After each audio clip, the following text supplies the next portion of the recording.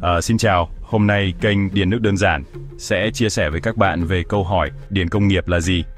Điện công nghiệp là một lĩnh vực kỹ thuật liên quan đến việc nghiên cứu, thiết kế, lắp đặt, vận hành và bảo trì các hệ thống điện phục vụ trong sản xuất và công nghiệp. Đây là một ngành quan trọng trong công nghiệp hiện đại, giúp đảm bảo năng lượng điện được cung cấp đầy đủ, an toàn và hiệu quả cho các thiết bị, máy móc và dây chuyền sản xuất. Các thành phần chính của hệ thống điện công nghiệp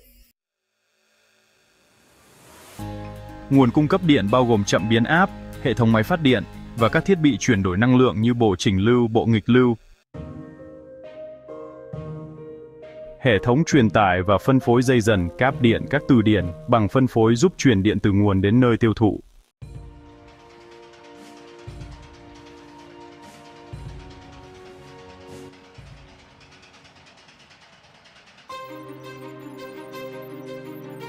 Hệ thống điều khiển và tự động hóa, các thiết bị như PLC, cảm biến, relay và các phần mềm giám sát giúp tối ưu hóa và tự động hóa quy trình sản xuất.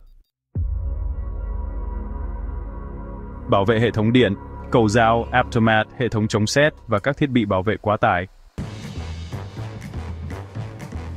Ứng dụng của điện công nghiệp, nhà máy sản xuất, cung cấp và điều khiển điện cho dây chuyền sản xuất, máy móc, hệ thống chiếu sáng công nghiệp, đảm bảo ánh sáng tại các khu vực sản xuất, kho bãi, hệ thống điều hòa và thông gió, cung cấp môi trường làm việc ổn định cho con người và máy móc, tự động hóa công nghiệp, tích hợp công nghệ vào sản xuất nhằm tăng năng suất và giảm chi phí.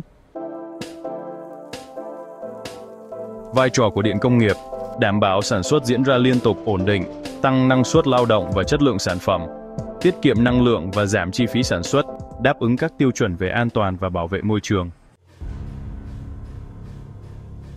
Điện công nghiệp không chỉ là xương sống của ngành công nghiệp hiện đại mà còn là một lĩnh vực đầy tiềm năng phát triển, mở ra nhiều cơ hội nghề nghiệp cho các kỹ sư và kỹ thuật viên điện.